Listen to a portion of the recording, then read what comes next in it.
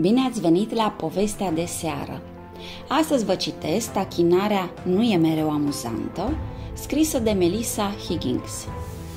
Blea! Radu a dormit cu un șoarece pe cap azi noapte.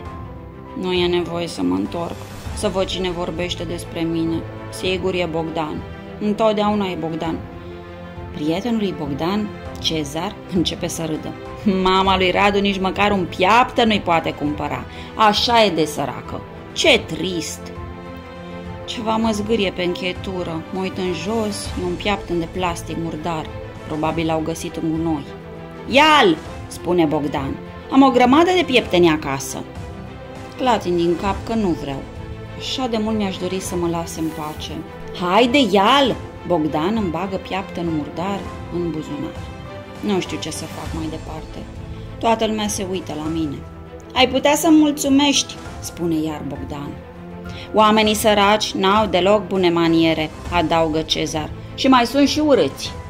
Mă simt ca un insect, o insectă măruntă și îngrozitoare și aș vrea să dispar. Însă sosește autobuzul și mă apropii de bordură, se deschide ușa, Bogdan și Cezar se bagă înaintea mea. Frumoși mai întâi, urâții la coadă, spune Cezar cu voce tare și toată lumea râde. Mă urc și eu în autobuz în urma lor. Ei se așează pe bancheta din spate. Singurele locuri libere sunt lângă ei. Trag aer în piept și mă așez lângă Dan. Dar acesta se îndepărtează de mine, trăgându-se mai spre fereastră. E ca și cum aș avea o boală, de care nu vrea nimeni să se mă lipsească. O vreme, nimeni nu spune nimic. Umerii mi se lasă de parcă ar putea o mare greutate. Poate că acum va fi bine. Apoi Bogdan țipă dintr-o dată. Cine e cel mai urât copil din școală? Cezar intonează. Radu, urâtul, Radu, urâtul. Iar acum au început și ceilalți copii. Simt că mi ard obrajii de rușine. Îmi doresc să dispar și să nu mai fiu... Of! În cele din urmă autobuzul ajunge la școală. Mă dau jos cât de repede pot. Cineva merge pe lângă mine. O, nu, ce mai vor acum? Radu? Mă uit în stânga mea și este Alex. Alex e coleg cu mine. Salut, spune Alex. Voiam doar să spun că nu e în regulă cum te tratează copiii aceia. Sunt răutăcioși, iar tu nu ești urât. Sper că nu i-ai crezut.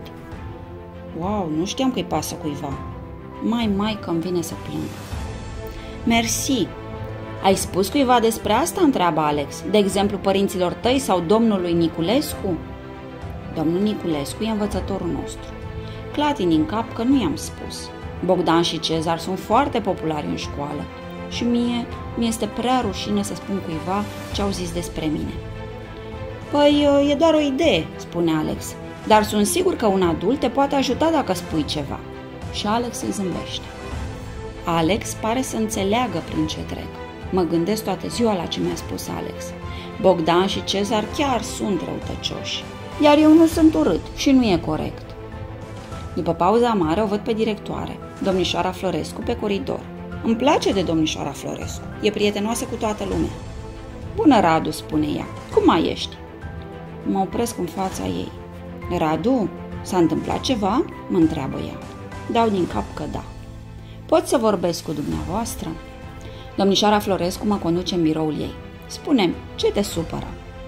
Îi spun că ceilalți copii sunt răutăcioși cu mine, mai ales în autobuz. În ce fel sunt răutăcioși? mă întreabă ea. Îmi e greu să-i spun, dar prind curaj și până la urmă o fac. Sper doar să mă creadă. Îmi pare rău că ți se întâmplă asta, Radu, spune ea. Și mă bucur că mi-ai spus. Cineva te hărțuiește. Școala noastră are toleranță zero față de bullying, chiar și atunci când sunteți în autobuz. Domnișoara Florescu spune că va sta de vorbă cu Bogdan și cu Cezar, dar și cu șoferul de autobuz. Asta mă sperie. O să creadă că i-am părât, spun eu, și mă vor necăji și mai tare. Lasă asta pe seama mea, îmi zâmbește încurajator domnișoara Florescu.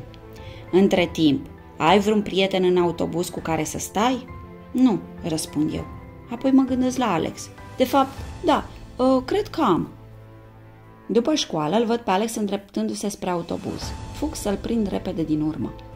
Am stat de vorbă cu domnișoara Florescu, îi mărturisesc. Super, spune Alex, spun pariu că te simți mai bine. Mă gândesc la asta și da, chiar mă simt mai bine. Parcă nu mai am greutatea aceea pe umeri. Ne urcăm în autobuz, îi aud pe Bogdan și pe Cezar râzând pe bancheta din spate. Alex, îl întreb eu, e în regulă dacă stau cu tine? Desigur, dacă nu te deranjează să stai în față, răspunde Alex.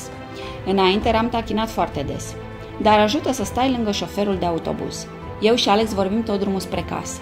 Îi povestesc lui Alex despre hamsterul meu Ronț. Iar Alex îmi povestește despre cum plimbă câini la un adăpost de animale. Pare tare distractiv.